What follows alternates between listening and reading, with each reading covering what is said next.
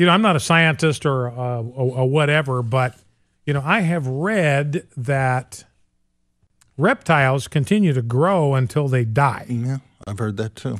So you think about the pre-flood Earth. Mm-hmm. I mean, you got people living 969 years. No reason to doubt that, ladies and gentlemen. Do not doubt this book. Methuselah, 969 years he lived. So longevity, obviously, for all living things, was much greater before the flood. So you think about a lizard.